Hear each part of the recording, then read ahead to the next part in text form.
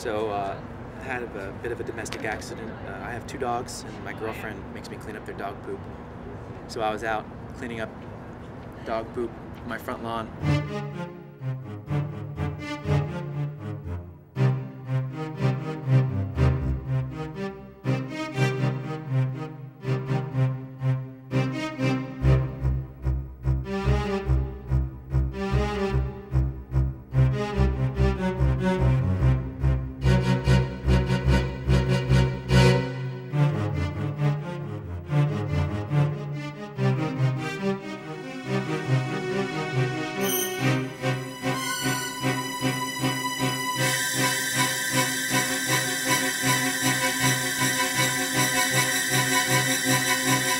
I'm in the cast for the next couple weeks and on these crutches, and it's kind of a bum out.